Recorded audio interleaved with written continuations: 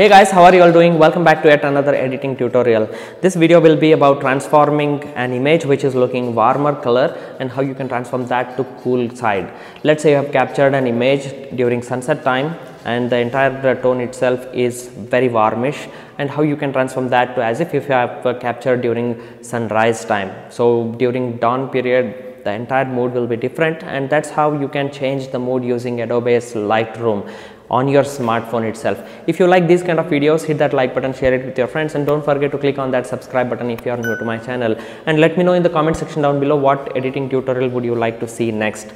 Alright guys, without wasting any more time, let's deep dive into the editing tutorial of this image. Let's do it. Okay, so this is the Adobe Lightroom. I have just opened the image and everything is reset now I'll start editing. The first basic thing that you want to do is edit the basic exposure. Now what does that mean? As you can see there are all the tools over here on the right hand side.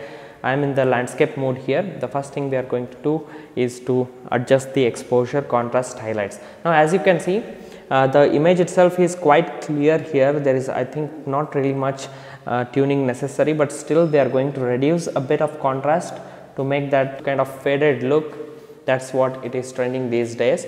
Okay so i have uh, reduced the contrast to minus 7 next i will just boost the highlight just a little bit to make these you know whites more white.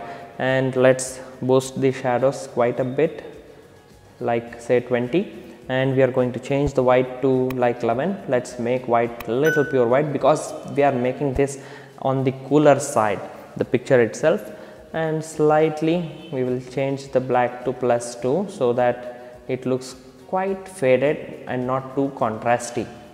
So okay now only subtle changes have made just to see what we have changed this was the before and this is the after image. Uh, now on the camera it may not look so much drastic changes as you go through the video you will see how it changes. The next important thing is to change the white balance now we are in white balance here but before we change the temperature and tint because this is very important we have to make the image look cooler. So what we will first do is change the mix like what colors you are seeing here if you adjust the hue saturation and luminance the same affects the particular color.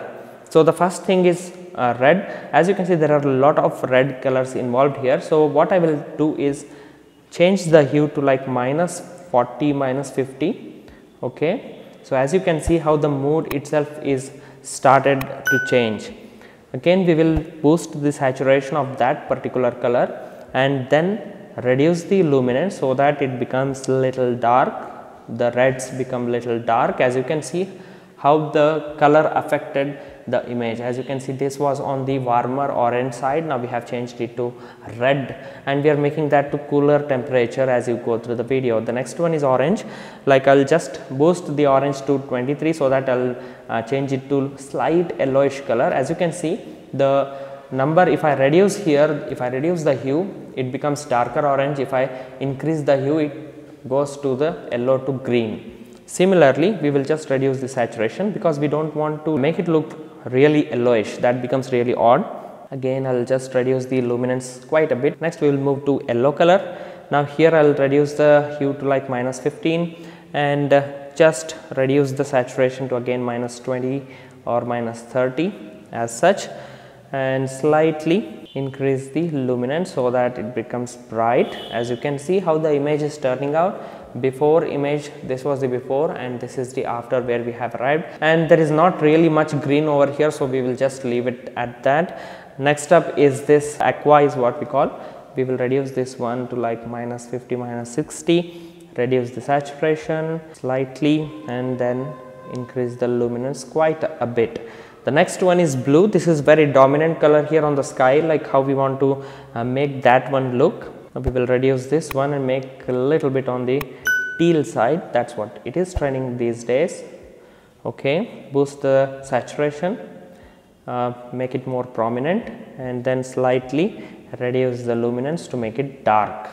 Now again as you can see this is the before image very warm looking and we have transformed that slightly. Next one is we will reduce the hue like minus 37, reduce the luminance, boost the saturation to 17. So we will leave this color as it is.